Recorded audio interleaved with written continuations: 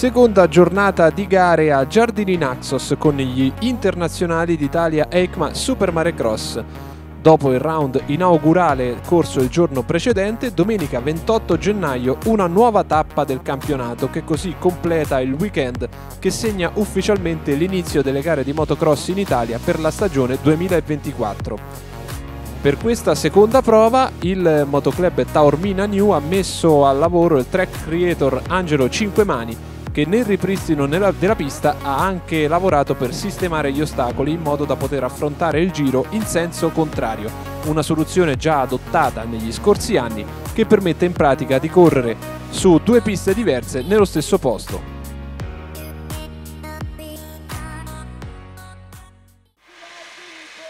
Le manche della Pro e in gara 1 sono le 4.50 a presentarsi davanti al primo salto con Bertuccelli primo, poi Del Coco, Caruso e Lentini. Del Coco però non perde tempo, supera subito Bertuccelli e impone il suo ritmo. Il numero 316 presiede ora Caruso, Lentini e Davide Brandini, primo delle MX2 davanti a Roberti. Roberti però finisce a terra e perde molte posizioni mentre davanti lo show di Matteo Del Coco che danza sulle gobbe con una scioltezza straordinaria. Ha già vinto ieri il campione in carica del Super Mario Cross e sembra intenzionato a ripetersi anche oggi. Bertuccelli spinge forte, ma neanche uno specialista della sabbia come lui può nulla contro Del Coco.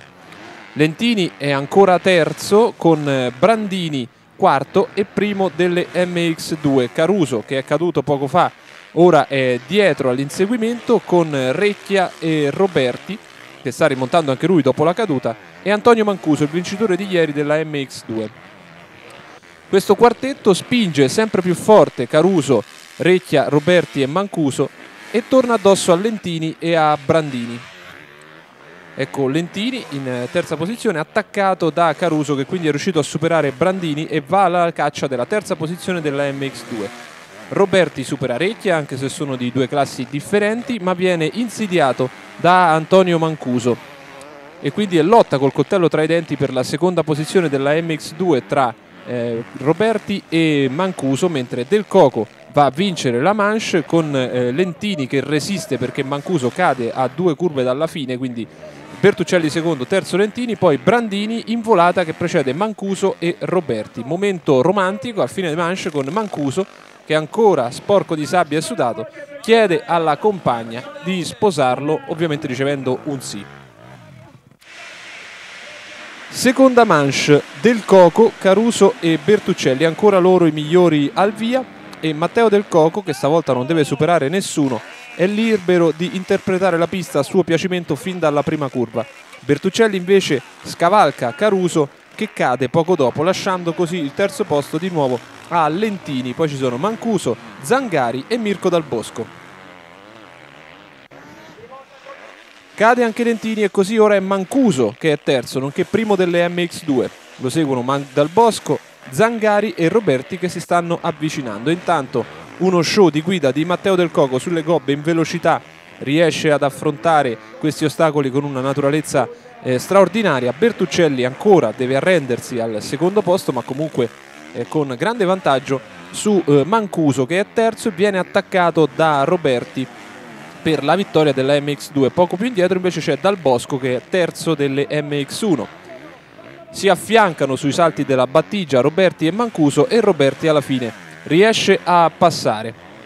Così diventa lui il primo delle MX2 mentre vediamo anche Zangari e Pivetta che stanno lottando per il terzo posto della classe minore.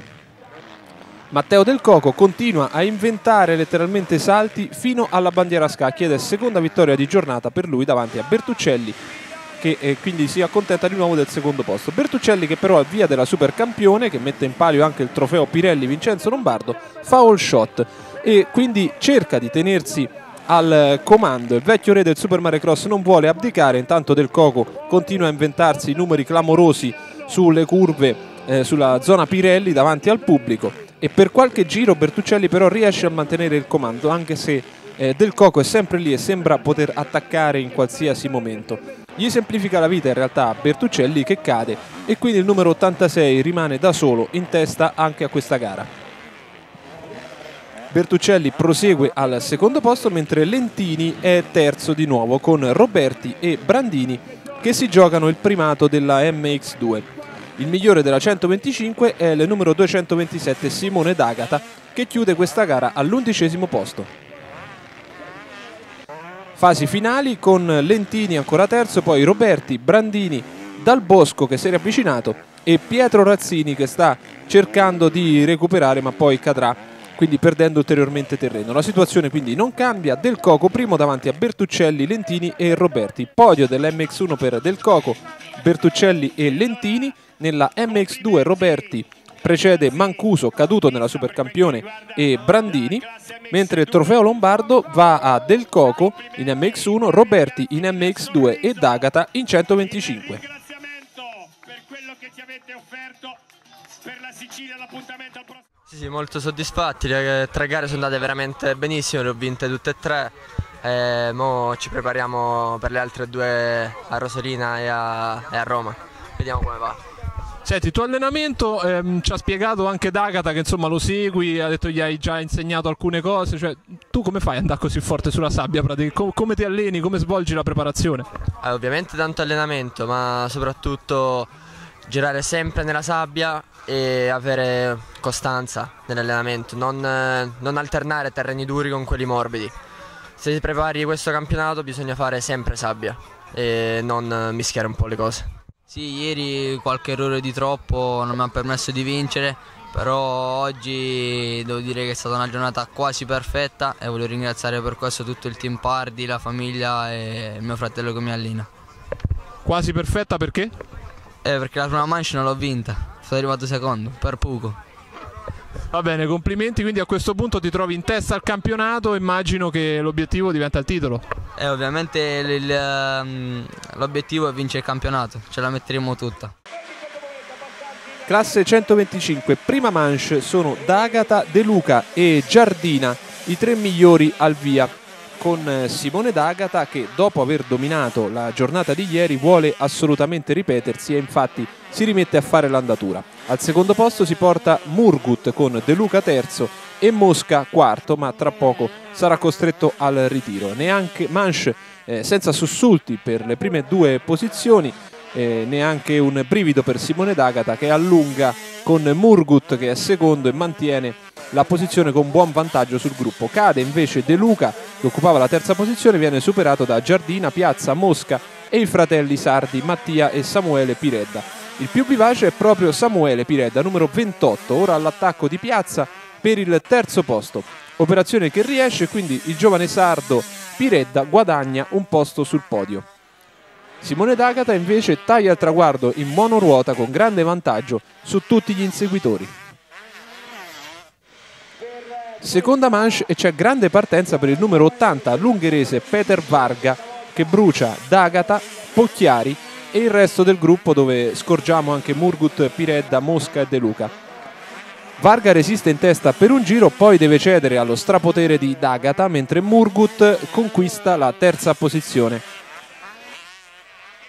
Varga perde terreno, Murgut cade, così è Piredda secondo, mentre vediamo che D'Agata ha già preso il largo in testa alla gara e dicevamo eh, Murgut cade, quindi ora Piredda secondo, Mosca terzo ed eccolo Tommaso Murgut che si rilancia in rimonta alla ricerca della seconda posizione, supera Mosca e poi si fionda su Piredda che tiene botta in realtà per qualche minuto, li vediamo lottare qui nel tratto lento della pista di Giardini Naxos e poi però Murgut si infila all'interno sulle wave e si riporta al secondo posto.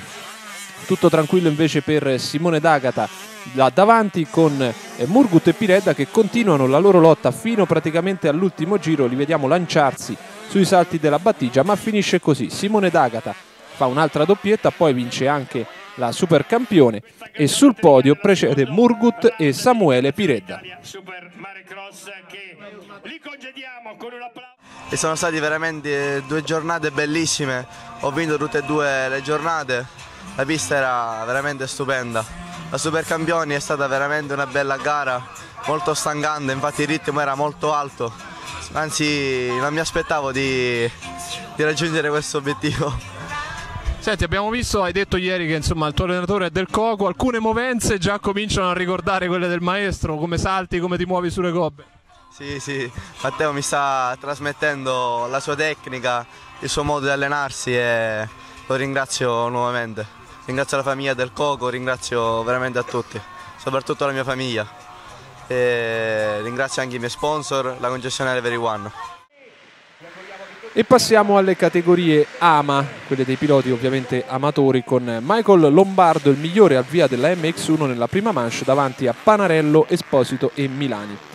Lombardo in testa con Antonio Caruso che ora è secondo mentre Milani ha perso terreno per una piccola scivolata ma è di nuovo all'attacco.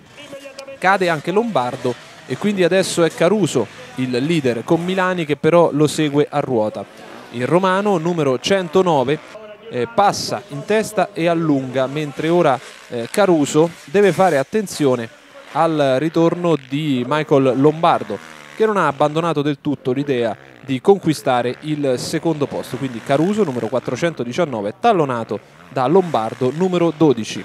Ma le cose non cambiano più con Milani che vince questa manche davanti quindi a Caruso e a Lombardo. Seconda manche ed è ancora una super partenza di Lombardo che alla prima strettoia precede Milani e Panarello. Milani però stavolta non perde tempo, attacca subito e si porta al comando. Lombardo secondo, poi Esposito, Caruso e Panarello in quinta posizione.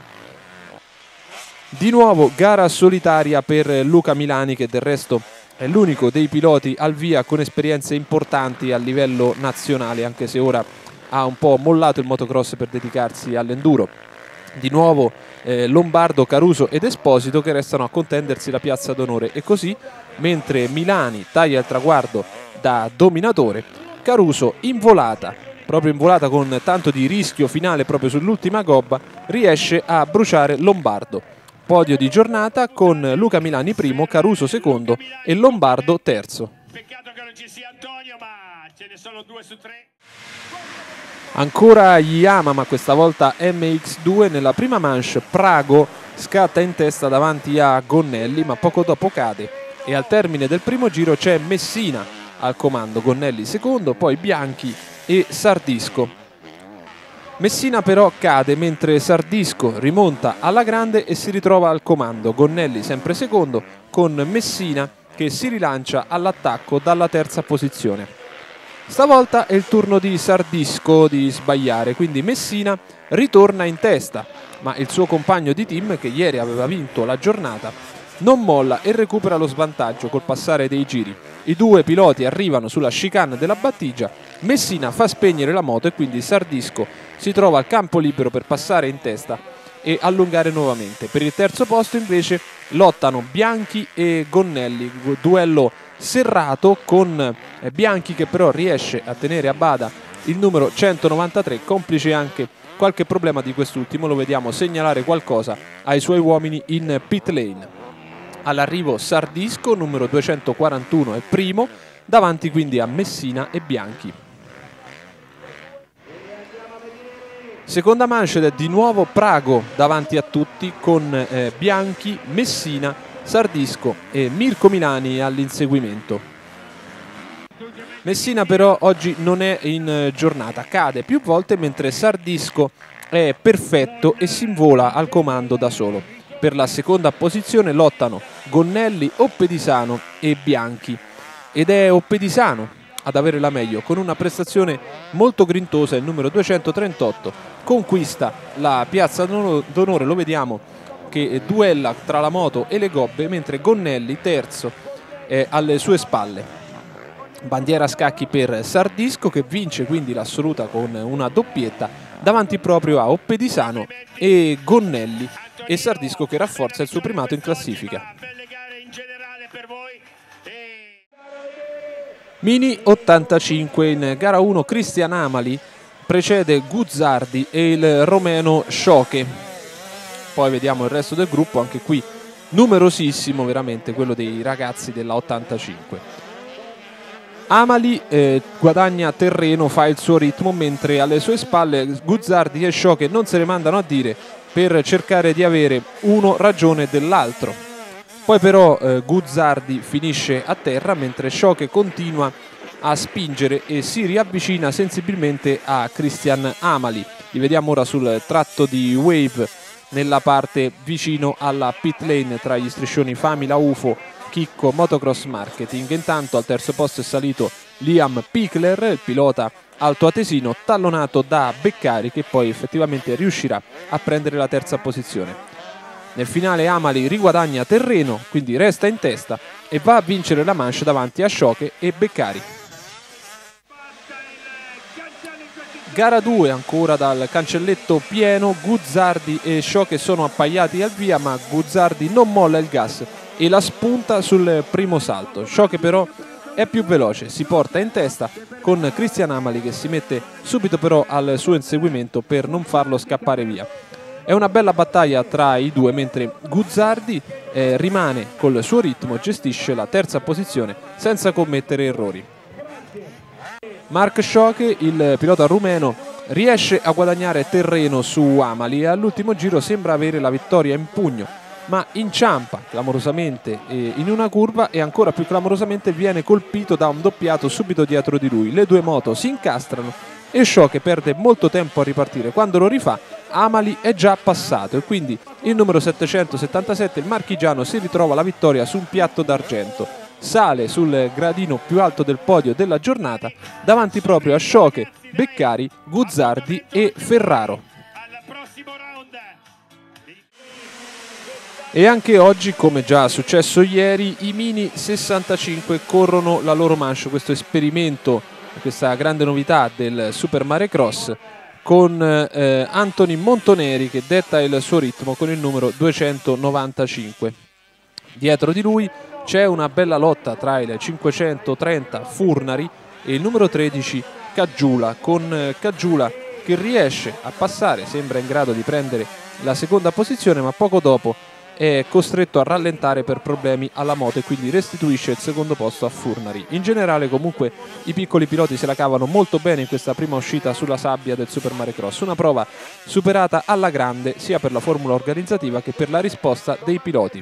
Al traguardo Montoneri va a vincere davanti a Furnari, Caggiula, D'Angelo e Vasta. Fuochi d'artificio, anche qui un classico di Giardini Naxos e un bel tributo finale ad Angelo Guerri, lo storico direttore di gara del Super Mare Cross che conclude qui, forse nella pista a cui è più affezionato, le sue direzioni nel campionato su sabbia. Gli internazionali d'Italia EICMA Super Mare Cross invece tornano il 17 e 18 febbraio a Rosolina in provincia di Rovigo con il terzo e quarto round.